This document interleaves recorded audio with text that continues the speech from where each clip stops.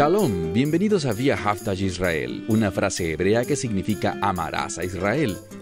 Esperamos que se queden con nosotros durante los próximos 30 minutos, ya que nuestro maestro, el Dr. Baruch, nos compartirá una enseñanza expositiva de la Biblia. El Dr. Baruch es profesor titular del Instituto Zera Abraham con sede en Israel. Aunque todos los cursos del instituto se imparten en hebreo, el Dr. Baruch se complace en compartir este video semanal en inglés con doblaje al español. Para más información, por favor visítenos en amarazaisrael.org. Aquí está Baruch y la lección de hoy. A lo largo de la Biblia vemos que hay un énfasis en torno a la palabra de Dios. Sabemos que existe la palabra escrita de Dios, pero también existe lo que las escrituras definen como la palabra rema de Dios, la cual es una proclamación. Como tú y yo hoy en día le pertenecemos al Mesías, porque hemos recibido el Evangelio, podemos convertirnos en receptores de esas palabras rema de Dios. Y eso implica lo siguiente. Tendremos la palabra escrita en la Biblia que describe los propósitos y planes de Dios, pero la palabra rema consiste en proclamaciones que causan que esos planes y propósitos se produzcan en la vida de una persona.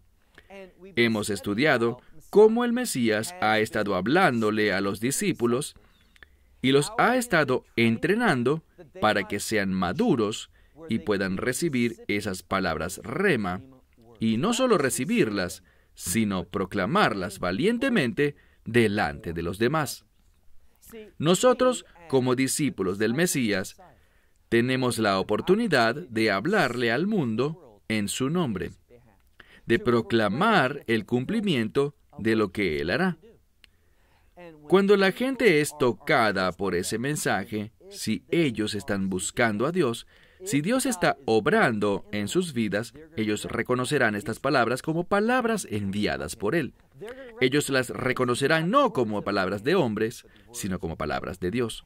El fundamento para entender esto y ser capaces de reconocerlo parte de donde quedamos la semana pasada, en el Evangelio de Juan capítulo 17. Lee conmigo el versículo 8. El Mesías ha venido hablando sobre cómo sus seguidores, los discípulos, han llegado a conocer que Yeshua viene de Dios y asimismo los está preparando para su partida. Noten lo que dice en el versículo 8, Juan 17, versículo 8. Dice, porque las palabras, y está en plural, esta palabra rema, esta proclamación que Dios el Padre hace, dice, porque las palabras que tú me has dado a mí, o sea, Dios Padre, dice, yo se las doy a ellos. En este pasaje el Mesías está orando por sus discípulos y ora no solo por los discípulos, por ellos, los doce que estaban allí, sino por los discípulos de todas las eras especialmente por los de los últimos tiempos. Porque el Mesías siempre está pensando en el reino. Por eso, Él piensa y también ora por esa generación que presenciará el establecimiento del reino de Dios. Verso 8. Porque las palabras que tú me has dado, hablándole a su Padre, se las he dado a ellos. Y, dice, estas ellos han recibido y ellos han entendido verdaderamente que de ti yo he venido. Y ellos creen que tú me has enviado. ¿Cuántas veces ha dicho ya entre los capítulos 16 y 17 que Él ha sido enviado por su Padre? Pero la gente, ¿saben?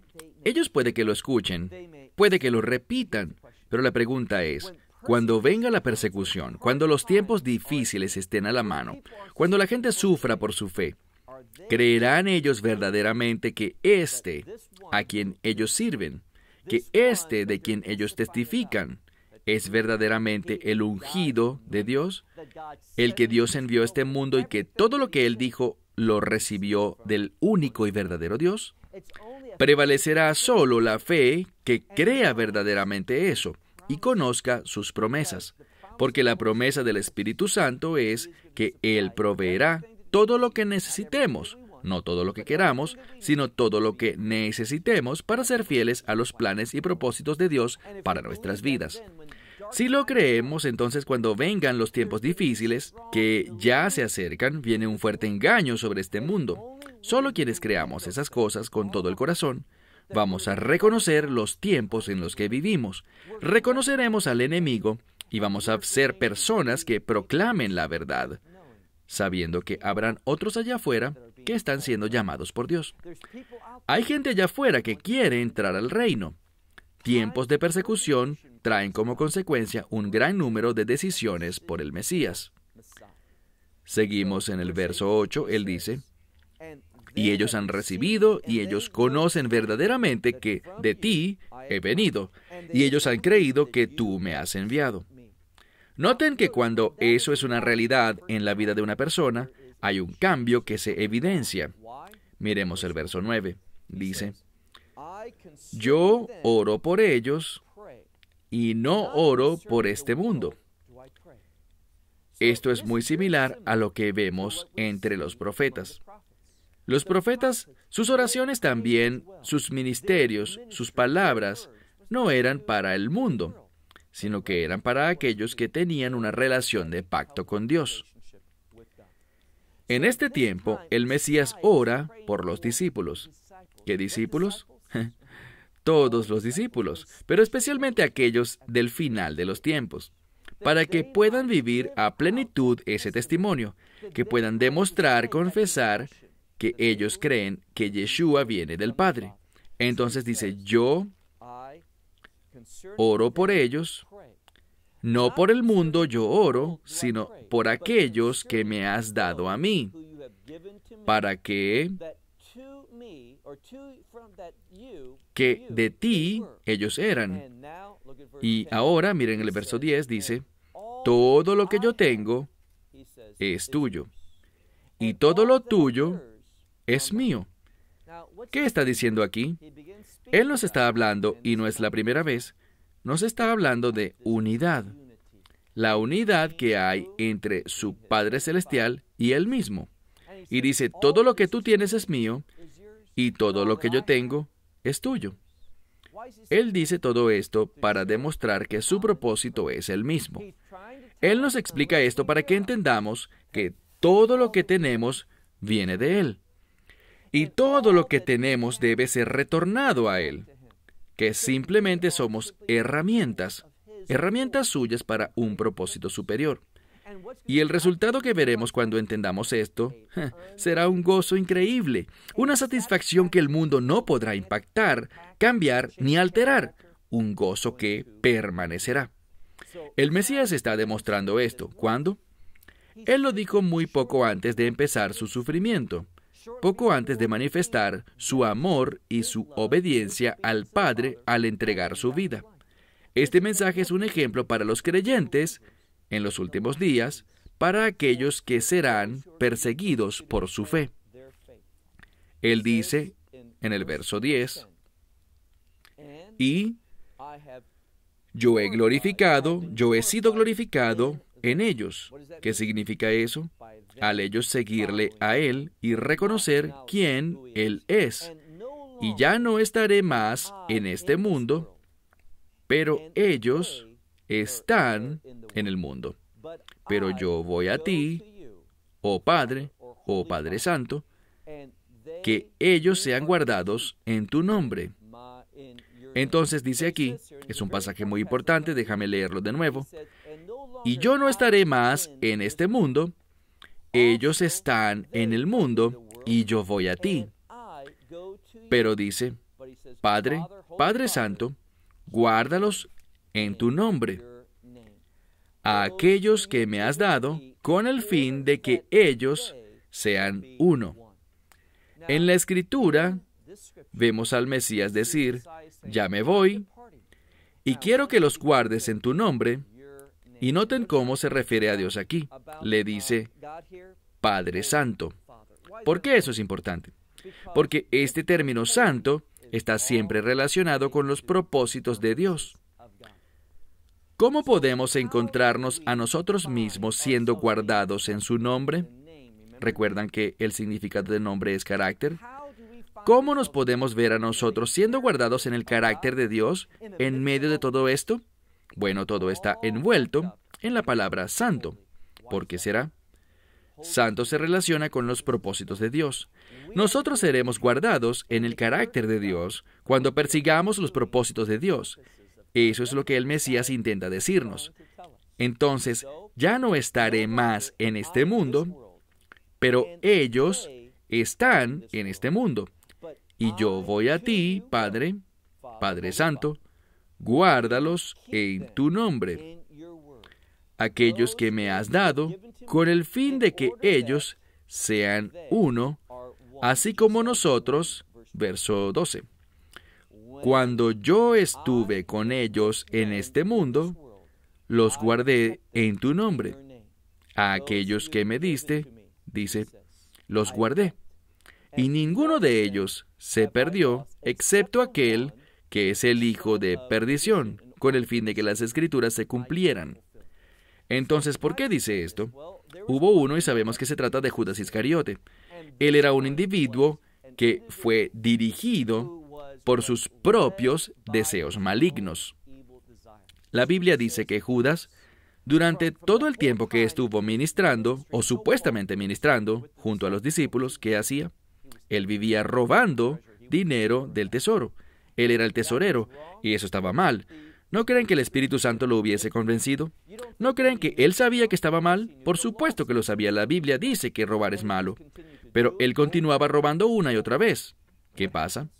Cuando nosotros nos rebelamos en contra de las palabras de Dios, cuando no escuchamos lo que Dios coloca en nuestro corazón, ¿qué sucede? Bueno, sabemos que nuestra conciencia se cauteriza. Y eso es exactamente lo que pasó con Judas. Tanto así que cuando él escuchó sobre el plan que intentaban arrestar al Mesías para capturarlo, en el momento adecuado, cuando no hubiese mucha gente a su alrededor, porque Yeshua al final de su ministerio todavía era muy popular. Y lo veremos dentro de unas pocas semanas. Bueno, Judas, debido a su amor por el dinero, debido a su codicia, ¿qué pasó? Satanás entró en él.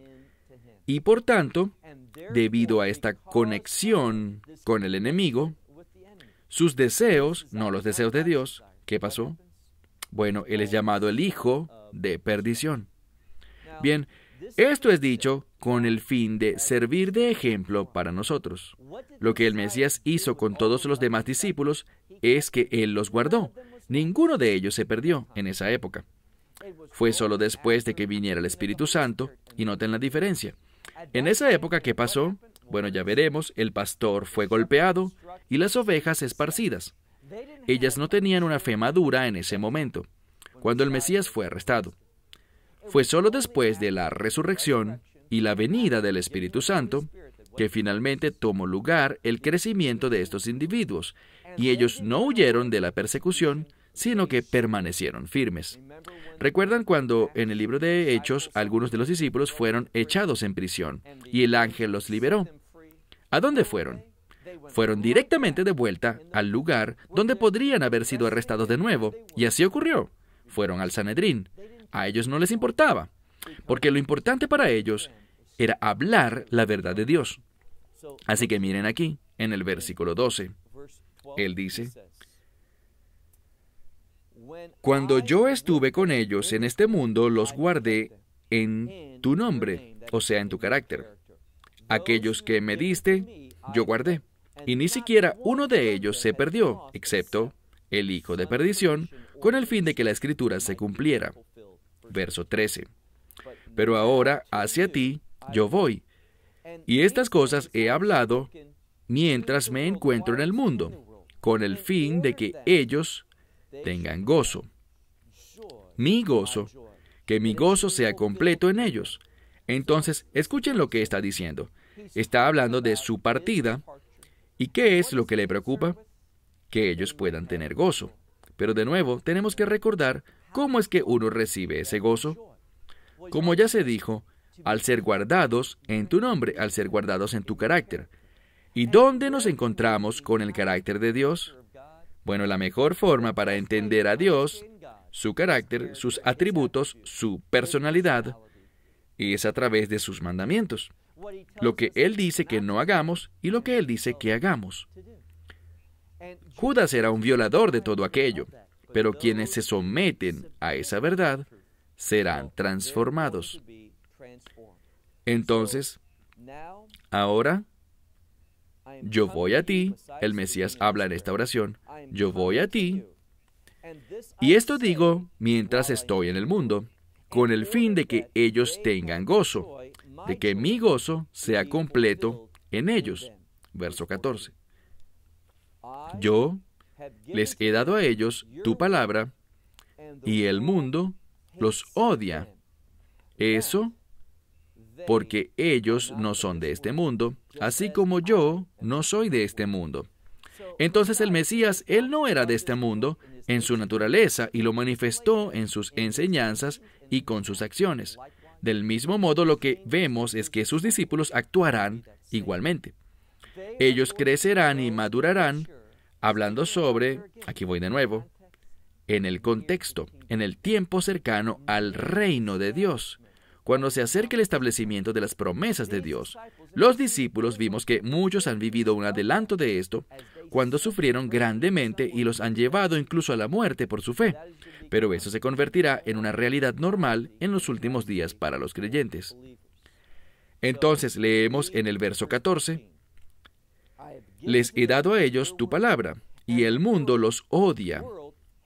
Ven, cuando somos obedientes a la palabra de Dios, el mundo nos odiará, porque ellos no son de este mundo, así como yo tampoco soy de este mundo. Verso 15. Yo, dice aquí, yo no he orado para que tú los quites de este mundo, sino para que los guardes del maligno del mal o del maligno. Esto se convertirá en una verdad muy importante al final. Lo que dice aquí, y esta es otra prueba de que estamos hablando de los últimos tiempos, porque Él dice, yo no me los llevo de este mundo. Bueno, eso no será sino hasta el final, hasta el tiempo de nuestra esperanza bendita, el rapto. Hasta ese momento se nos insta a dar testimonio. ¿Y no es significativo que Él esté hablando sobre sufrimiento y persecuciones y ser odiados? O sea, este odio del que Él habla se manifestará en el sufrimiento de los discípulos. Y Él dice, mi oración es que no los quites del mundo, porque ellos tienen que dar testimonio, y por eso es que recibimos al Espíritu Santo. Él testifica a través de nosotros. Verso 15.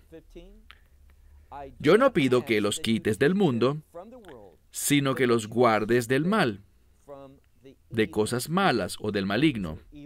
Verso 16.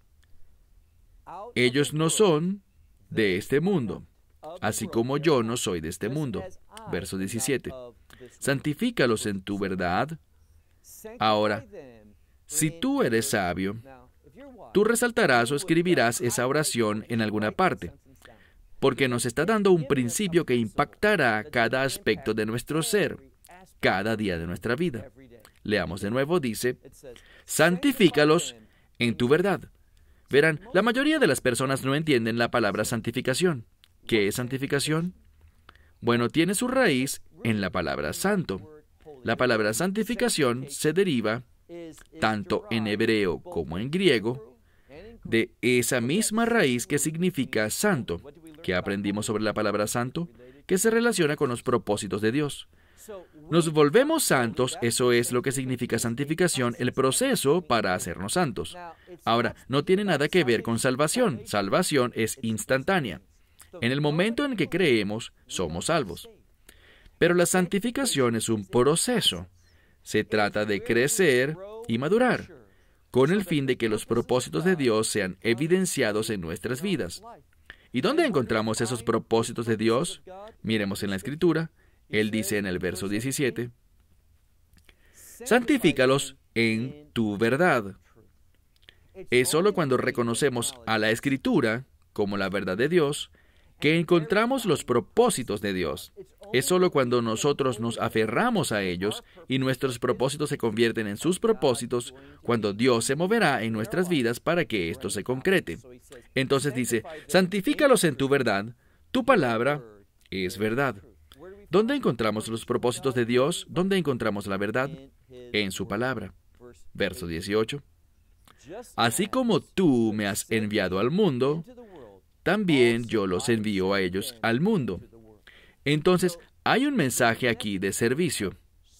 Nosotros somos santificados, maduramos, nos encontramos siendo más como Dios, que dice Él, dice en Levítico 19, sean santos porque yo, el Señor su Dios, soy santo. Y todo esto se encuentra en los propósitos de Dios, los cuales son la verdad de Dios, la cual es la palabra de Dios.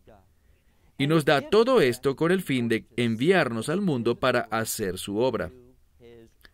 Ya se nos ha dicho, tanto en el capítulo 15 como en el 16, y ahora aquí en el 17, que seremos odiados, y este odio conducirá a una persecución.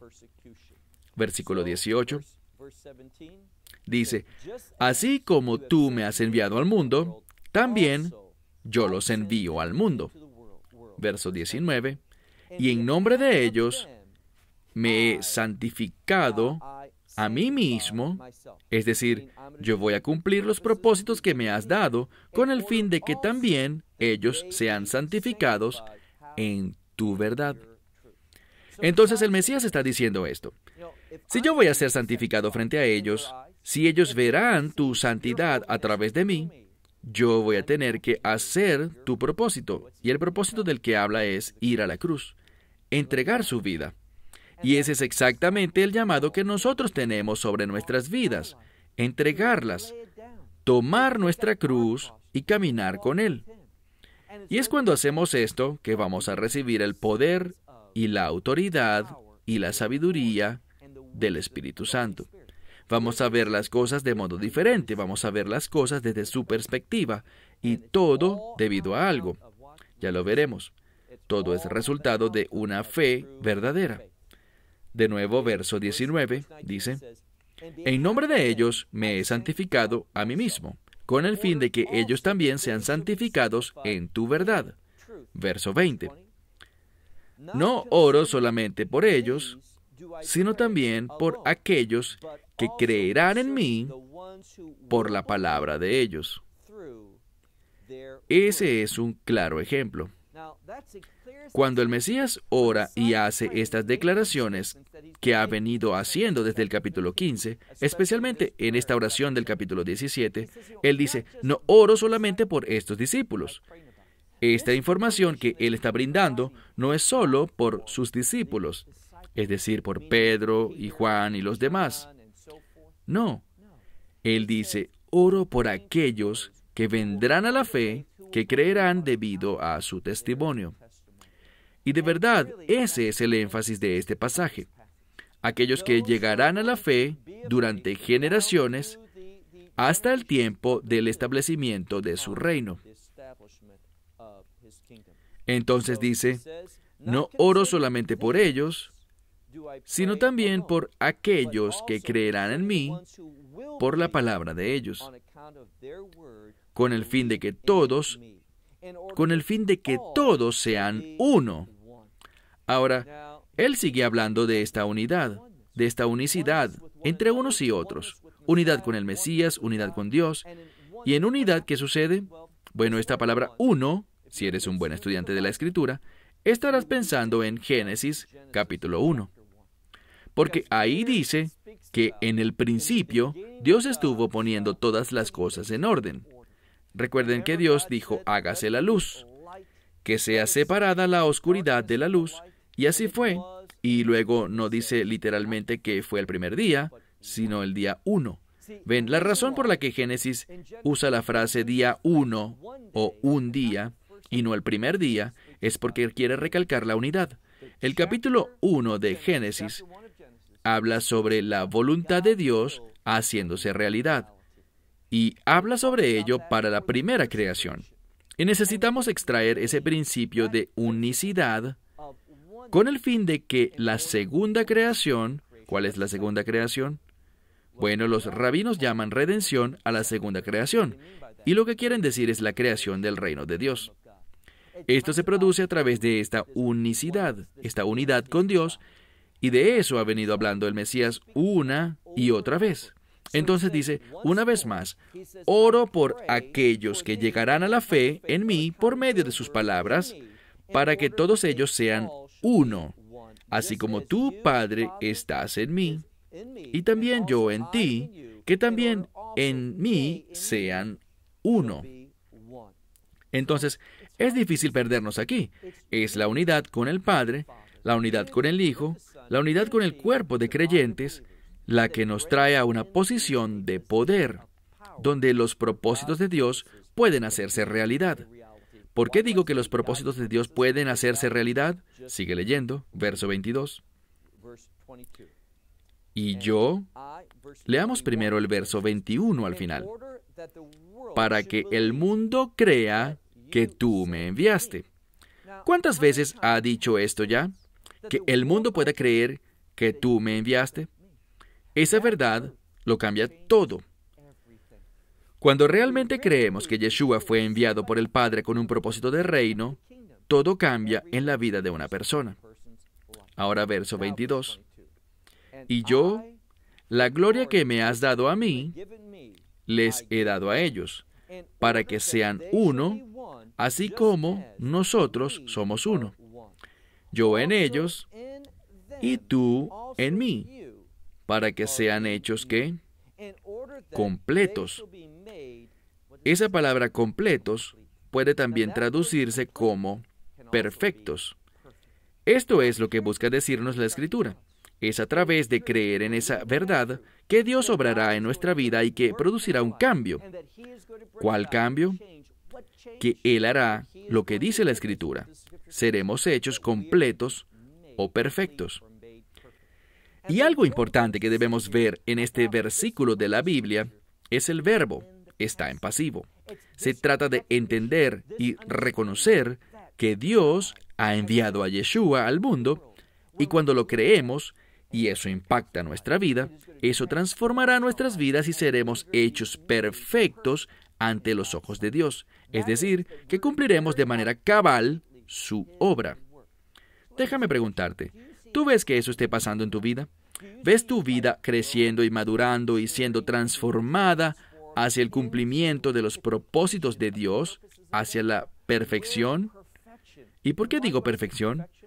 Porque la Escritura dice que somos llamados a ser perfectos. Y lo que eso significa lo explicaremos la próxima semana cuando continuaremos y concluiremos el capítulo 17 de Juan sobre el poder de la perfección en la vida de cada creyente. Hasta entonces, que Dios les bendiga. Esperamos que te hayas beneficiado del mensaje de hoy y lo compartas con otros. Por favor, haz planes para unirte a nosotros cada semana en este momento y en este canal para otra transmisión de amarazaisrael.org. Nuevamente, para obtener más información sobre nosotros, visita nuestra web amarazaisrael.org, donde encontrarás muchas otras conferencias de Baruch en formato de video. Hasta la próxima semana. Que el Señor te bendiga en Yeshua Hamashiach, Jesús el Mesías, mientras caminas con Él. Shalom desde Israel.